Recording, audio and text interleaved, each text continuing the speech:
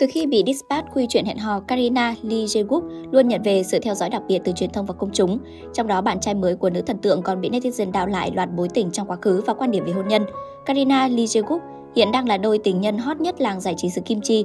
Tuy nhiên, đến ngày 29 tháng 2, trang Ten Asia bất ngờ tiết lộ Karina Lee Jae-wook và nữ diễn viên nổi tiếng tên A đang ở trong một búng binh tình yêu.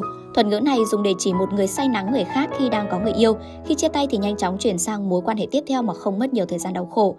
Theo trang Ten Asia đăng tải, một người trong ngành đã tiết lộ về việc Lee Jae Gook đã hẹn hò với nữ diễn viên nổi tiếng A được hơn một năm. Cho đến tháng 12 năm ngoái thì chính thức dừng lại. Rất nhanh chóng sau đó, tài tử hoàn hồn đã thay lòng đổi dạ rơi vào lưới tình của Karina vào tháng 1 năm nay. Chỉ có bản thân Lee Jae Gook mới biết sự thật, nhưng drama này sẽ giáng một đòn mạnh vào nam diễn viên, trang Ten Asia kết luận.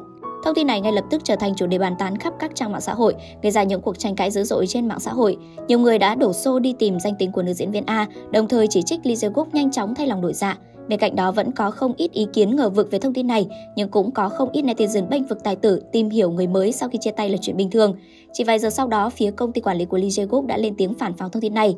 CZ Entertainment cho biết đây là bài đăng chứa thông tin sai lệch và có mục đích vu khống nam diễn viên.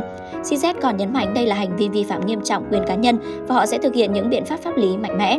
Trước đó khi Dipas quy tin hẹn hò giữa Karina và Lee Jae-guk, cư dân mạng không ngừng tìm kiếm thông tin lịch về nam diễn viên. Được biết Lee Jae-guk sinh năm 1998 tại Seoul, Hàn Quốc, trong một gia đình có truyền thống nghệ thuật. Lee Jae-guk từng ôn thi lại đại học một năm để theo đuổi ngành diễn xuất, sau đó cùng lúc trúng tuyển năm trường đại học ở Hàn Quốc. Lúc mới vào nghề, anh gia nhập vào công ty của Hyunbin và được nam thần điển trai nâng đỡ. Lee Jae-guk liên tục góp mặt trong nhiều dự án phim nổi tiếng và được khán giả biết đến rộng rãi.